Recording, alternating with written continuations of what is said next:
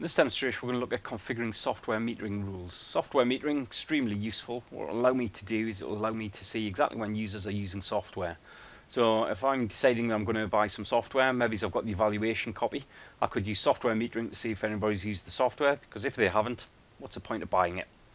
Also as well, potentially, users may install applications that they never use. So at this point here, when it comes to relicensing the software, we can then target the licensing based off the actual usage of the application have to go through a number of steps in order to set up software metering. So the first thing we're going to look at here is just configuring the software metering client agent. We'll then have a look at configuring the software metering rule. We'll have a look at the ability of Config Manager to create automatic software metering rules. And then we'll just talk about the reports that we have potentially that we'll run in order to see if people are actually using the software or not. Now what we've done to start with is we've come into our Config Manager console, we've come to the administration workspace, we've come to the client settings and we come to default client settings. So again I can either modify the default or what I could do is create a custom set of settings to push out against devices. But we'll right click, we'll just come to properties. Then what we'll do is we'll just come down to our software metering. And under our software metering, it's very, very simple settings. Enable software metering on clients, yes or no. And then we can specify when we collect the data. So what happens with software metering is we store all of the data locally on the client device we then send that data up to the config manager server and ultimately out to the database. So we're happy that all the settings are in place, so happy with all of this, so we'll just select OK. Next thing we need to do is just configure a software metering rule. So in order to do that, what we need to do is come to our Assets and Compliance workspace. Within our Assets and Compliance workspace, we come to Software Metering. And what we can see below Software Metering is we already have some rules in place. But if you have a look, you'll notice that enabled is set to no all the way down. So even though these rules exist, we're not actually collecting any data relating to these applications. But one of the things we can do is we can create our own. So if I right click on software metering, we'll create a software metering rule and then what we'll do is we just need to fill out some information. So I'm going to call mine WordPad rule. Then what we need to do is we actually need to specify the file. So I'm just going to click my browse button I'm just going to browse through to C colon and within C then I'm going to come to program files. I'm just going to come down to Windows NT and then within Windows NT I'm just going to go to accessories. And within accessories I'm just going to highlight WordPad and select OK. So as you can see we've got the file name wordpad.exe, original file name is wordpad.exe .mui. We can see the version, see the language, see any description that's in place, and we can apply the software metering rule to something.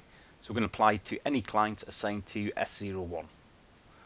Then what we'll do at this point here is we're just going to come in here. Um, in the case of language, let's just change the language. So I don't know whereabouts in the, uh, the world this is being used, so let's just change that to any. And what we're also going to do as well is we're just going to get rid of that version and we're just going to stick a star in here because we want to find any version. So I know that we've modified those settings there. We'll just select our next button. Select our next button again and then we'll select close. So now what we've got, if we have a look down at the bottom, we've got our WordPad rule. We manually create this one. This one is enabled. So now we've done that, we can also as well get software metering to automatically create its own rules based off some variables or some settings that we put in place. And to do that, we come to software metering, right click and just come to our software metering properties. Within our software metering properties, what we're going to do is we're going to retain any data relating to software metering for 90 days. I'm actually just going to reduce that to 30, just for purposes of the demo. Then automatically create disabled metering rules from recent usage inventory data. So these automatically created rules here. We're specifying the percentage of computers in the hierarchy that must use the program before software metering rule is cre automatically created. So we're seeing at this point here, 10%, fairly happy with that. Specify the number of software metering rules that must be exceeding the hierarchy before we stop actually creating rules. I think that's a bit high. Let's just drop that to 25. Now modify those settings, just select OK. So now the rules are in place, we will be monitoring WordPad. Once we want to monitor WordPad, what we want to do is we want to take all that data and we'll then need to present that data to whoever's interested in that data and we can do that through the monitoring workspace. And what we have is, if we just scroll down through our reports, so we're currently in our reporting, reports node under monitoring. Now if we scroll this down, what we find is, if we keep going, what we have is we have software metering reports. So in the case of software metering reports at this point here, we can run reports against devices, computers, and we can have a look at information relating to the applications that we're currently metering. So for example, all software metering rules apply to this site.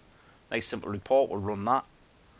And what that will do is that will tell us all of the software metering rules that have been created and applied to devices in this site. So if we have a look down, there you go, we can see all of the rules. Close this down. Other reports that may be of interest, so computers that have a meter program installed but have not run the program since a specified date, so really useful from a licensing point of view. We can have a look at computers that run specific metered software programs, so again, quite important to know that if we are going to actually buy software based off evaluation software, that people are using it. And as you can see, we have a number of reports. We won't go through them one by one. And that's the end of this demonstration.